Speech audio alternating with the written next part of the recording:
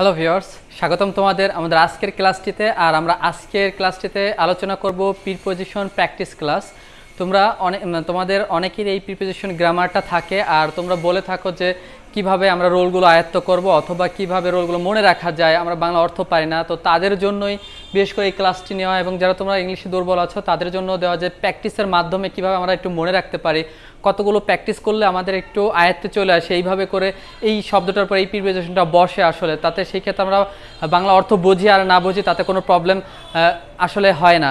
ঠিক আছে? তো আমরা কথা না বলে আজকের ক্লাসটি শুরু করি। দেখো, আজকের ক্লাসে প্র্যাকটিস ক্লাস হিসেবে তোমাদের রেখেছি।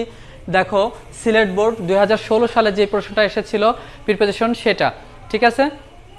তো আমরা কথা না শুরু করি দেখো, প্রথম লাইনটি কি আছে দেখো, the science fair held our college. আমাদের কলেজে কি হয়েছিল? মানে বিজ্ঞান মেলা অনুষ্ঠিত হয়েছিল paved a new way for us. এটা আমাদের একটি নতুন আনন্দ দিয়েছিল, টুগেদার প্র্যাকটিক্যাল নলেজ। এবং প্র্যাকটিক্যাল নলেজ তৈরি করার জন্য দিয়েছিল, ঠিক আছে? তো আমরা দেখি, আমরা এই অর্থ যদি না বোঝে, না পারি, তাহলে তোমরা এইভাবে করে মনে রাখবা।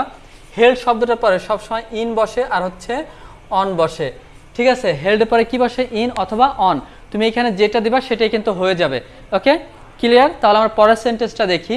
মেনি অফ আওয়ার ফ্রেন্ডস আমাদের অনেক ফ্রেন্ডস টুক পার্ট অংশগ্রহণ করেছিল দ্য ফেয়ার এই মেলায়, ঠিক আছে? অংশগ্রহণ করেছিল মেলার মধ্যে, দেখো। যদি মধ্যে কথাটা হয়, তাহলে আমরা বলেছিলাম, ইন বসে। কিন্তু যেহেতু আমরা এইভাবে যদি অর্থ না পারি, তাহলে তোমরা এইভাবে মনে রাখবা টুক পার্ট এই শব্দটার পরে সবসময় ইন বসে। টুক পার্টের পরে সবসময় কি বসে? ইন বসে। ঠিক আছে? এবং দ্য ফেয়ার দেয়ার প্রজেক্ট দেখো, কোনো সময় যদি এখানে পসেসিভ প্রুফ থাকে শূন্যস্থানে পরে, তাহলে ওইখানে উইথ দিতে হয়। উইথ কি দিতে হবে? উইথ এটা কিন্তু possessive proof they them their possessive proof ঠিক আছে? তো এইভাবে করে কিন্তু আমরা দিতে পারি।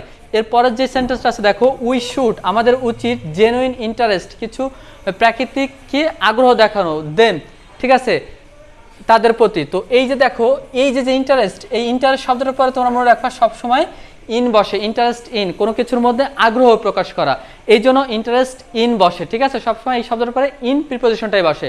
এভাবে করে কিন্তু মনে রাখতে পারো ওকে এরপর দেখো most of the project are made কিছু জিনিস তৈরি হয়েছিল এখানে। দেখো, এই মেড শব্দটার পরে আমরা জানি সবসময় ইন বসে অথবা বাই বসে। Made in China made in Japan আমরা কিন্তু বলি, ঠিক না? তো এই মেড শব্দটার পরে প্রিপোজিশন হিসেবে কী বসে? ইন বসে। কিছু ক্ষেত্রে দেখা যায় বায়ো বসে। সেই ক্ষেত্রে এখানে বাই দিলেও কোনো প্রবলেম হয় না।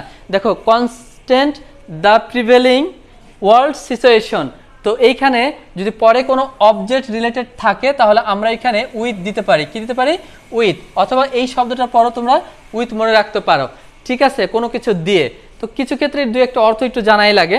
দেখো দে ওয়ার ইনটেন্ট দেখো, এই ইনটেন্ট কথাটার পরে সবসময় ইন বসে। ইনটেন্ট সরি এখানে ইনটেন্ট হ্যাঁ ইন বসবে। ইনটেন্ট কথার পরে কী বসে? ইন বসে। এরপরে দেখো আমরা আমি একটা ভুল করে ফেলেছি। ইনটেন্ট শব্দটার পরে সবসময় টু বসে। সবসময় কি বসে? টু বসে হ্যাঁ? ইনটেন্ট শব্দটার পরে সবসময় টু বসে।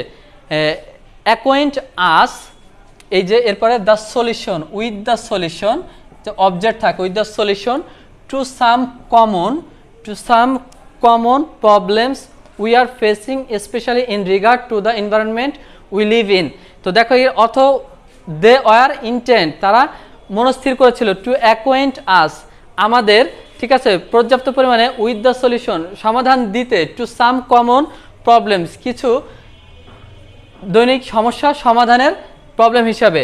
We are facing specially in regard to the environment এই বিশেষ করে এটা আমরা প্রবলেম ফেস করি কখন? যখন এনভায়রনমেন্ট বা পরিবেশের মধ্যে থাকি বা পরিবেশে বসবাস করি উই লিভ ইন তাই বলা হয়েছে, ঠিক আছে?